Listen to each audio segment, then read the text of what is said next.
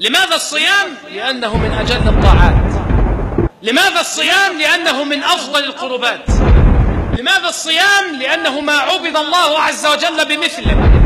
لماذا الصيام؟ لأنه يدخل صاحبه الجنة من باب خاص بعد فضل الله عز وجل ومنته. لماذا الصيام؟ لأنه يكفر الذنوب المتقدمة أجمع. لماذا الصيام؟ لأنه يباعد بين وجه الصائم وبين النار سبعين خريفا لماذا الصيام؟ لأن صاحبه يوفى أجره بغير حساب. لماذا الصيام؟ لأن الرحمن خصه من سائر العمل فاصطفاه لنفسه وأضافه إليه. ففي الصحيحين عن أبي هريرة قال النبي صلى الله عليه وسلم كل عمل ابن آدم له إلا الصوم فإنه لي وأنا أجزي به.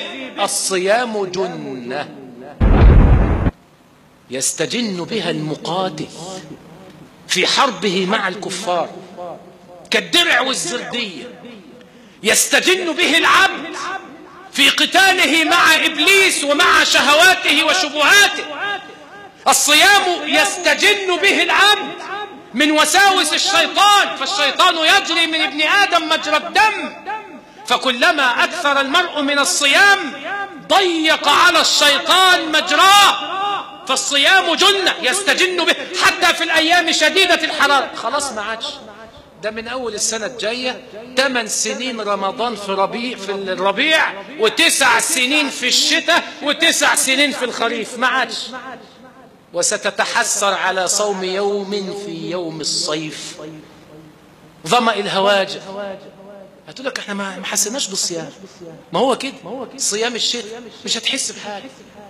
كلما بذل العبد من طاعة وطاقة وأفرغ طاقته لله كلما لمس هذا في حياته في نفسه في ذاته في أولاده في عبادته في بركة ماله.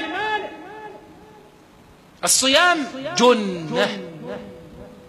في الحرب أنت تحارب وتقاتل. لا بد من جنة تستتر وراءها ولا بد من درع وزردية وبيضة وخوذة وسيف. الصيام جنته لا يستطيعك شيطان.